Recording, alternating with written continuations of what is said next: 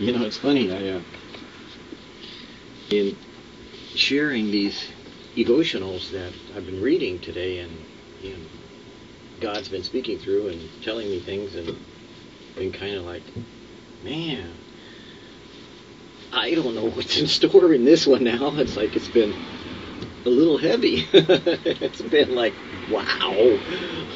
I've, I've one, two, three, four, five. I've like read five of them, you know, and and uh, it's like, whoa, boy, are we talking like some meaty stuff all of a sudden? Man, it's been like pretty tough.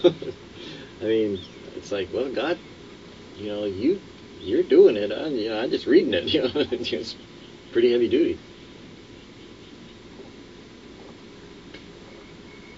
So it's almost like with joyful, but still some trepidation or some nervousness. I'm going, you know, these over here weren't meant to be like the bigger ones that I got right now, you know, like Tozer.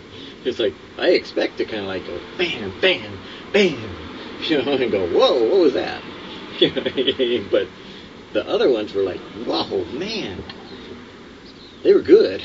It was like, even for me, when I'm used to hearing things, you know, that are tough, you know, and you got to really kind of like sink your teeth into it, and you got to like kind of think about it, and you go, whoa, man, that's heavy duty.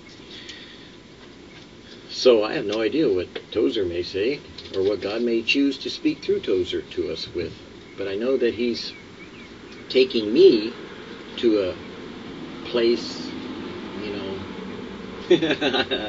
well, I love it, you know, but it's always like, but it might take a little bit of effort to get there. Be completely honest with God when you pray. Oh boy, this follows the other ones. I could tell. Here we go. But, O Lord of hosts, that triest the righteous, and seest the reins and heart, let me see thy vengeance on them, for unto thee have I opened my cause. Jeremiah 2012. That's kind of like, go get them, God.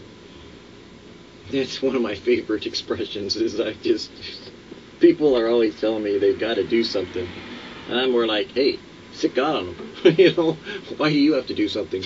God can do a whole lot better job of it. So I just say, go get them, God. There is a vital element of true prayer which is likely to be overlooked in our artificial age. The vital element is just plain honesty, being real, being true. The saintly David McIntyre once wrote, Honest dealings becomes us when we kneel in his pure presence. That's putting it mildly. Then Mike McIntyre continued, On one occasion, Jeremiah failed to interpret God aright. He cried as if in anger, O Lord, thou hast deceived me, and I was deceived. These are terrible words to utter before him who is changeless truth. But the prophet spoke just like he felt, and the Lord not only pardoned him, but met him and blessed him there. You know, I'm going to stop there for a sec, but, you know, I have been one of the most adamant whatever you want preachers you could say of get real with God and he'll get real with you. I I as a young believer would go out into parking lots and just scream bloody murder about what I was upset about and I didn't understand why God was doing something and I wanted to know why and I would get real and I'd cry and I would yell and I would stomp around and I'd act like an idiot you could say if anybody saw it thank God it was like you know I'd always make sure no one was around because first of all, I didn't want to have to explain myself, and then second of all, I didn't want to have to, if God was going to deal with me personally, I didn't want anyone else interfering. So I wanted to know. I was mad, you know, and I got mad at God lots of times, you know. It, I don't, you know, funny thing is, I must have gotten old because I can't even remember last time I got mad at God. I was like, well, I'm not, well, it's just humorous now because I guess I've changed, you know, because I don't get mad at God anymore. It's like, I guess I had it all out. But you should be real. If you're feeling something that you don't like, tell him. If you're angry, if you're mad, if you're hurt, if you're disappointed, if you're discouraged, if you're discombobulated, or whatever it may be, get real. God already knows. Come on. But you are the one who has to be honest. Tell him. He sees it. He knows it. You're the one that's feeling it, so get it out and vent it to Him. Not to your church, not to your elders, not to your deacons, not to point the fingers at people, not to get involved in some kind of, oh, I need to, you know, list this on the prayer chain so everybody knows my business so we can all talk about it. No. Get alone with God and get it over with. That's my point of view, and that's what I've always believed in all my life, and I still do, and I still tell people that. Do it. Be real. I recall another spiritual writer of unusual penetration has advised frankness in prayer, even to a degree that it might appear to be downright rudeness. I, I, guess I didn't know that I was supposed to be humble and meek and holy when I was real. of course, now I'm kind of humble and meek and sort of holy, you know, and God seems to speak back to me, and we seem to have conversation, so I enjoy his conversation in a level tone more than I do in a scolding tone. When you come to prayer, he says, and find that you have no taste for it, tell God so without mincing words. Don't hide the fact. If God and spiritual things bore you, admit it. Tell him frankly. This advice will shock some squeamish saints, but it is altogether sound nevertheless. God loves the guileless soul, even when in his ignorance he is actually guilty of rashness in prayer. The Lord can soon cure his ignorance, but for the insincerity no cure is known. We can learn something at this point if we will. If you take your honesty to God and you reality check, you know, yourself in at the door and just simply say, "Hey, you know what? This is who I am, you know, and I'm working on changing, but right now I don't feel it. You know, I'm not I'm not ready for this you know, I'm going to go down on a, on two knees, you know, and and just confess my sins and feel so holy that by the time I get around to feeling how mad I am, you know, I'm not going to even feel mad because I forgot what it was I was mad about. No. God wants conversation.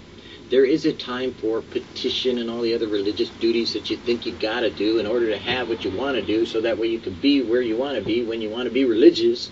But for me, your reality is, what are you in conversation? What do you do when you talk? That's what you do with God. You talk. That's what prayer is. Talk. Conversation back and forth. Now, hopefully he doesn't talk to you as you talk to him. or you may never get anywhere. But if you are in conversation and you do enjoy the ramifications of what that means, that means your God is real and that he's alive and that you do have this connection that you know can never be separated. So you can share everything that's in your life all that you are because Jesus already paid the price. God loves you. What more can be done or said than for you to just simply be able to share where you are how you are when you are? And that's all you need to do. So if you're screwed up and you feel screwed up, tell God. I feel screwed up and I am screwed up, but I need your help anyways. If you're happy and you know it, and whatever the song says, and you surely show it, tap your hands or whatever you do, stomp your feet, jump up and down, you know, be crazy. I don't know.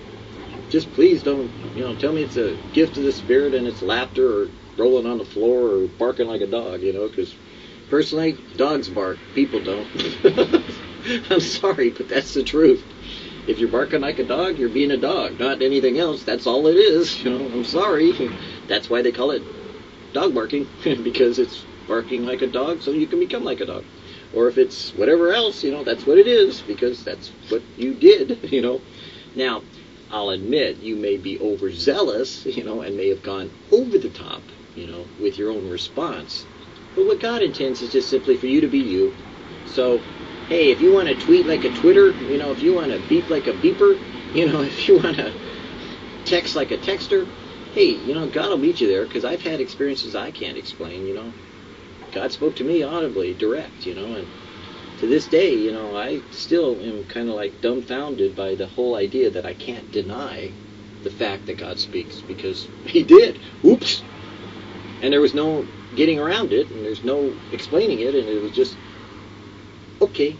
and I'm like, the one thing that God could do to ruin my eternity, or to ruin, to, I should say, the one thing He did to assure me of eternity and to ruin my adversity by destroying my very intellectual, logical intellect was by speaking to me. it was like, whoops, it screwed everything up that I was going to do. From that moment on, it was done. I was like, can't get around that one. okay, it's over with. You know, and maybe that's what God needs to bring you to. You know, you need to share your real emotions so that He can take you to the end of your limit and say, oops. And then there He is, and you'll be over it. so be real. Be honest. Be truthful. When you do, Jesus Himself will meet you there.